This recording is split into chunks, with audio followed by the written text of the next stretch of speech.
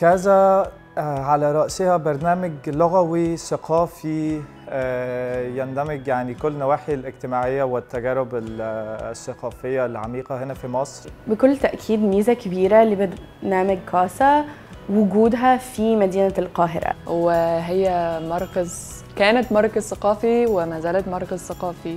ففي فرص هنا مش موجودة بره دي حاجة مميزة تماما. يعني دي حاجة فريدة من نوعها خالص. قبل كل حاجة علشان البرنامج ده هو بيدينا فرصة انغماس في الحياة في مصر. جودة الأساتذة هنا حاجة تانية خالص صراحة.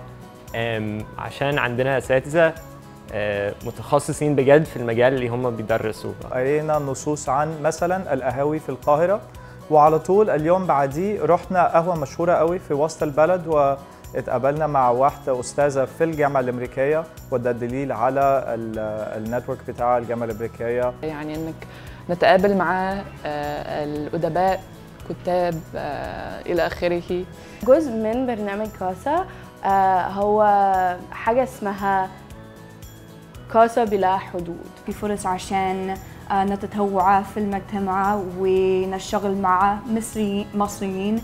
كجزء من آه، فصل كاسا بلا حدود رحت آه، آه، اتطوعت مع الهلال الأحمر المصري. أنا سجلت بنادي المسرحية ودي كان أول مرة في حياتي أعمل يعني بعمل مسرحية. أنا هنا يعني اتعرفت واتصاحبت مع طلبة تانية من أو طلبة تانيين من من تونس من اليمن من العراق من من السودان.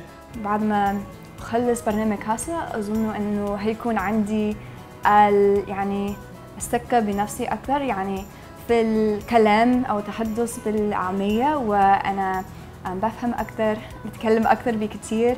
برنامج كاسا هو فتح لنا أبواب في الحياة وفي مجال استخدام اللغة العربية في مجال الشغل في المستقبل. تعالوا. أدرسوا. اللغة العربية. في الجامعة الأمريكية. في أم الدنيا.